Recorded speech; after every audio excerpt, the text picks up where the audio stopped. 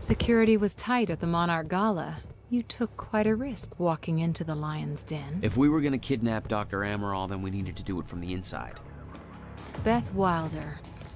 You were quick to trust her. We had common interests. Is that all you had? That's all we needed. Well, I was starting to think seeing a pretty lady like you was too much to hope for. Why don't you keep your mouth shut while we get some privacy before we begin? How about you get me out of this chair? Ah, ah, ah. Stop squirming. And you're gonna need this.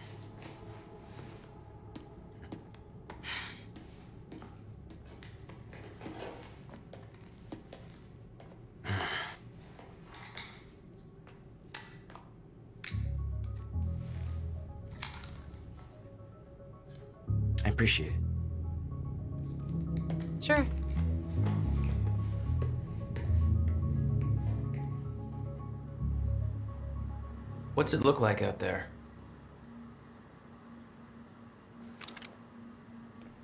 I think you're secure. Everyone's concentrating on the party. So far, your crazy plan's working. And Dr. Amaral? I don't have a fix on her. She's either at the party or at her office at the R&D facility here on the island. I'll scout out the party.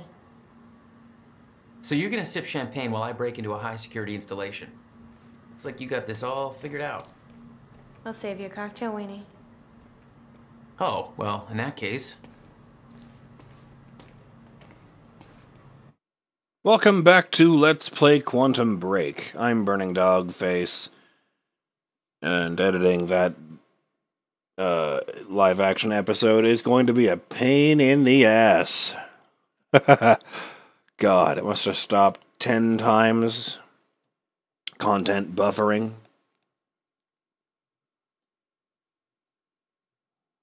I guess it's streaming the content from a f- server somewhere. Um.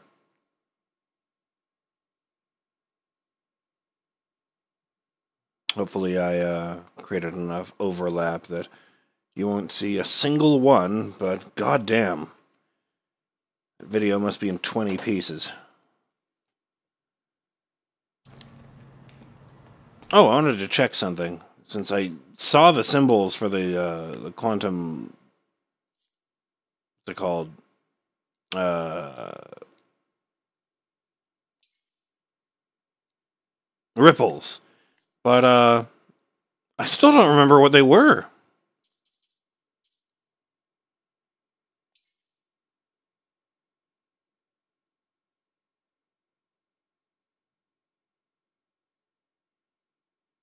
I don't get it. I don't remember finding uh a uh like an invitation that I picked up and took with me. Cause Pebble. Senior broker Haskins loses his gala invitation. Intentional? Sabotage? Accident? Effect Haskins is late to the gala. His wife divorces him. Haska on a burnout leave. Haskins' invention is sold on eBay by someone using a pseudonym Blanche McDougal. Large numbers of monarch butterflies found dead from coast to coast.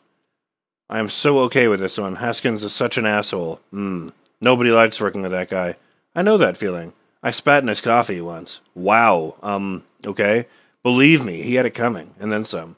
Probably shouldn't put that on the record, though. I'll make sure to erase that, don't worry.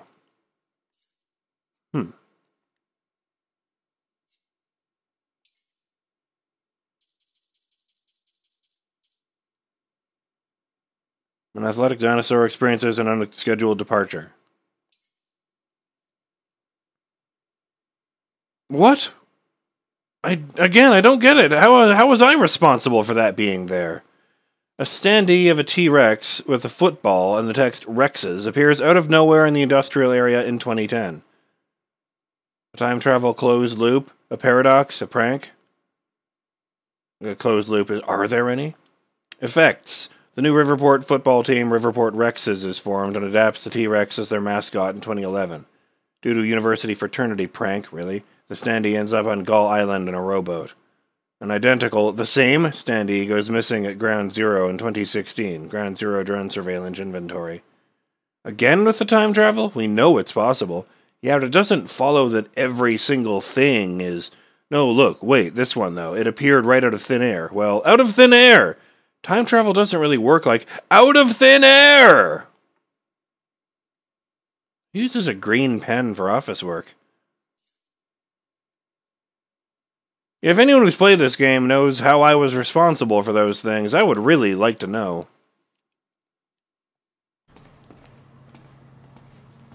Also, after that conversation with Paul, I'm more convinced than ever that he would absolutely choose uh, to personally meet with uh, Jack.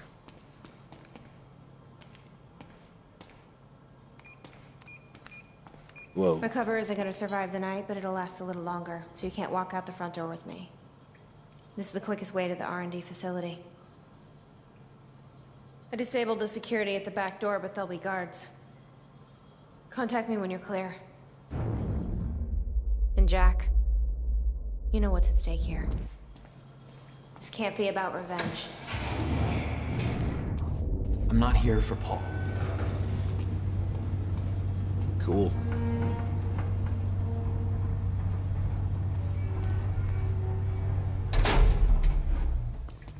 Mildly reluctant that I missed the, or regretful that I missed the uh, the hinges moving. But let's face it, I'm probably gonna have to do this level over again at some point. Come on, let's go. Hey! He's escaping! Oh shit, it's that guy.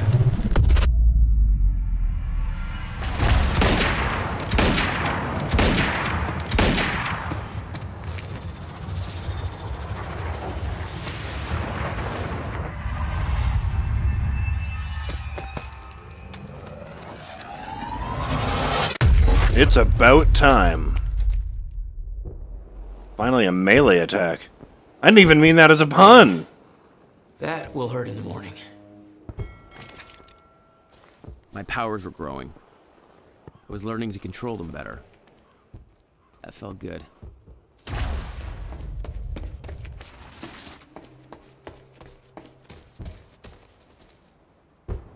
Boop. Who the hell designs these doors? Okay, I'm gonna have to move faster to get through. Who put the button way the fuck? Okay, I guess that's a security feature. So the guy assigned here pushes the button, and lets you through.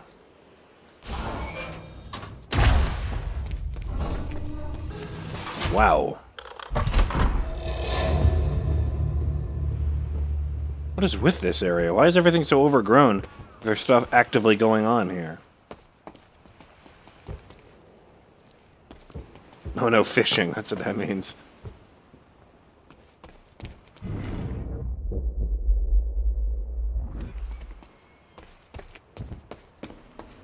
You look important.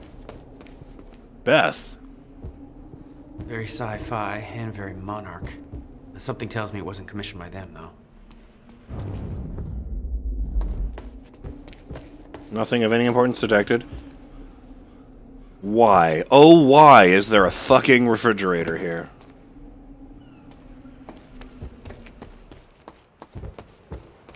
Hey, Beth, I'm clear. What's next? You'll see a radar tower up ahead soon. Let me know when you get inside. All right. The National Park Service welcomes you to Riverport Coastal Defense. This, the monument was 20, 219 steps. Persons with heart and respiratory conditions are advised not to climb. Persons under age 14 must be accompanied by an adult. If you climb, take your time, watch your steps. Uh, your step. Do not throw any objects out of the windows or down the shaft. Food, drinks, smoking, and pets are not permitted in the monument. Any questions or problems, please ask a ranger. Riverport Coastal Defenses Monument. Riverport National His- Historical Park.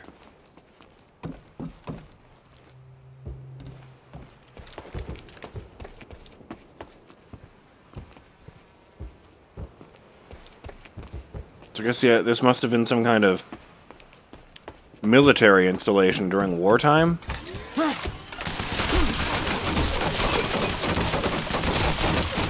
Well, that sucks.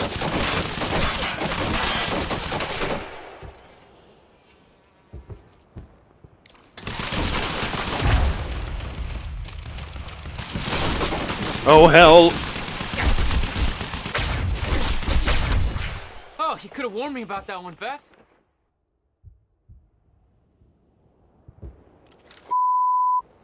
Hmm. Don't mind if I do.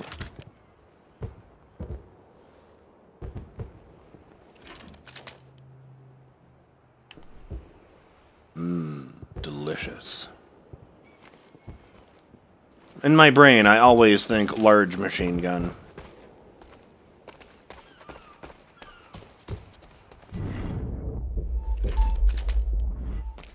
Man, that blinking really needs to be more obvious. Okay, here we go. Alright, I haven't missed anything so far. After faking his surrender, Jack makes his way across Gull Island to kidnap Dr. Sophia Amaral, the scientist who can make the time machine work. All right. Oh, he's talking about the, the upgrade. The pointer redo I found. Yeah, nothing. I do find it ominous that it does one more Chronon sources for next available for next upgrade point, given that all of the ones I found so far have been, you know, one. You skids are collaborators.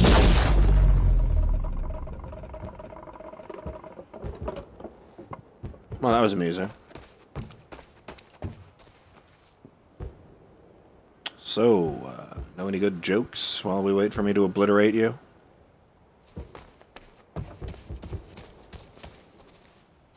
Well, this whole thing is going up. I was going to say fuck it and just head off, but now I kind of want to see that. Yeah, yeah, look, coastal defenses. Ancient S, uh... Cannon. I'm guessing that, uh, it's been a while since, you know, this has even been a tourist attraction. Given the way that, uh... Everything has fallen into such shitty disrepair.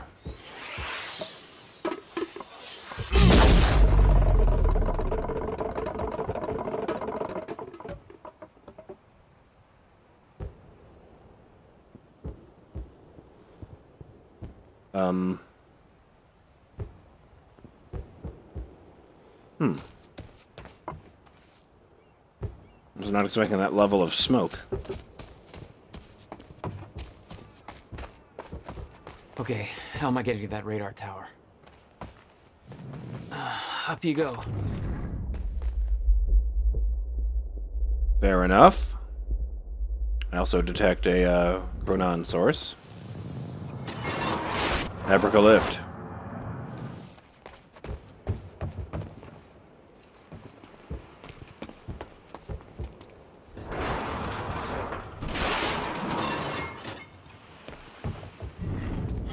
Let's try this again. Like that just seems like it happened uh, from disrepair over the course of years.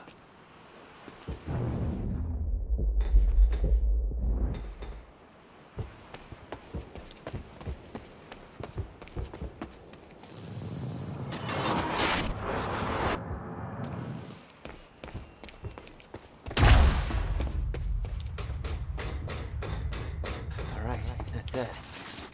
I don't know how we're going to explain the dry dock scene. Hey, it was just our paperwork. We can spin it however we want. Call it an accident.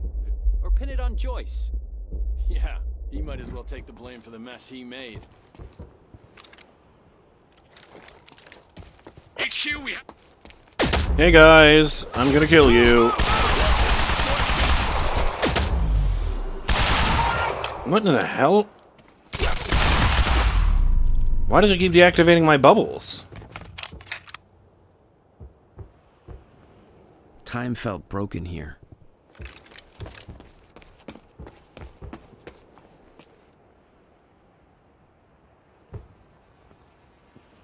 Oh, good. Uh, this coastal defense, the coastal defense installation, and if I go here. All right, so I don't need to uh, just zoom in and read it in, in world. Gull Island sign, Riverport coastal defenses. I think they spelled defenses of the sea earlier. Whatever. The coastal defense installation of Riverport was commissioned on August 2nd, 1940, called it, and wartime, and completed in September 1942 as America faced the realities of World War II. In addition to the fortifications and artillery, it also boasted an extensive tunnel system that linked Gull Island to the mainland, enabling free movement of personnel and material, even under siege conditions. It was built in preparation for an attack on the United States that, fortunately, never came. The original plan also called for the construction of a large naval base in Riverport to support the U.S. Navy in the Atlantic, taking advantage of the local shipbuilding industry. But as the United States entered World War II after Pearl Harbor, a change in resourcing priorities led to those plans being scrapped. This installation was in active use throughout the war, and the underground facilities continued to be used as a base for naval for Navy intelligence. For Navy intelligence work once World War II ended. This installation was decommissioned in 1961. Neat. The whole cannon felt unstuck in time.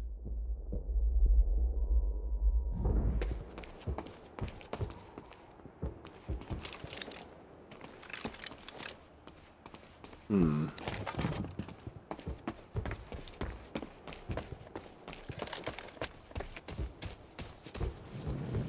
No. The timeline of the old cannon felt loose. I could shift it around. Yeah, I get it. I just don't want to do it.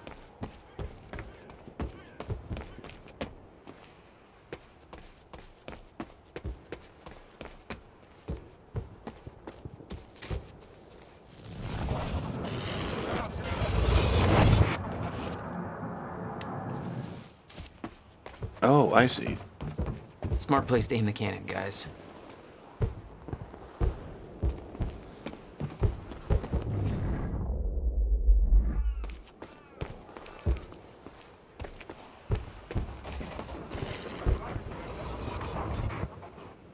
Okay, quicker next time. I don't like the ripples that I keep seeing appearing in the water. It's freaking me out. They don't look like waves. Well, they don't look like water waves. They look like chronon waves. I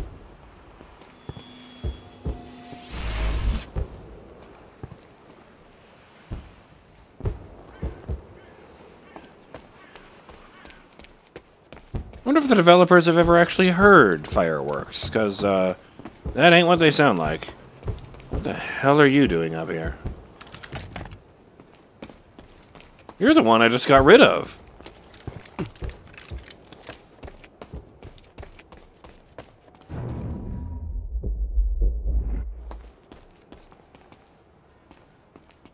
It's just a pistol. I don't need that. Hmm.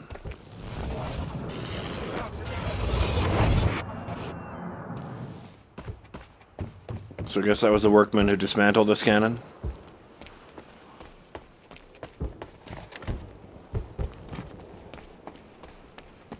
I thought there was another one down there somewhere. Could give me extra ammo, but whatever.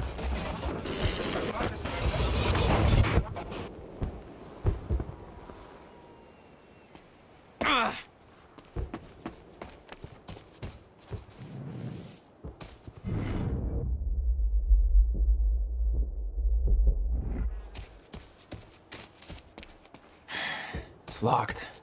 Just checking.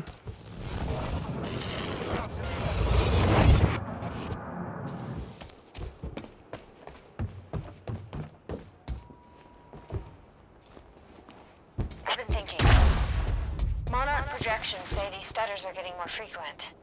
If one hits while we're grabbing Dr. Amaral, You'll be frozen. Yeah, I know. It's a risk. Monarch specialist troopers have the stutterproof gear. I bet Dr. Amaral would have that in her office too. I'll keep an eye out. See if I can grab it for you. Wonder if that's considered a stutter. Beth getting captured and then executed would seem to be a pretty big. Oh, hey, huh.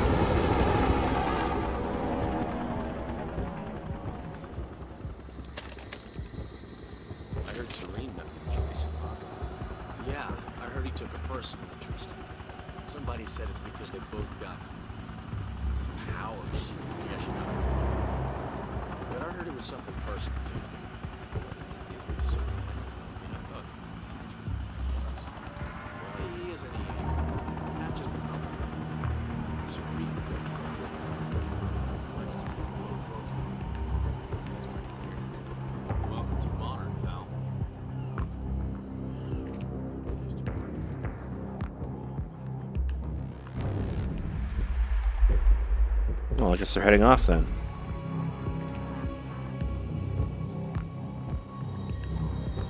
Seems like a good place to call it. I'm Burning Dogface, and I'll see you in the next episode of Let's Play Quantum Break when I take on this, uh, messy installation.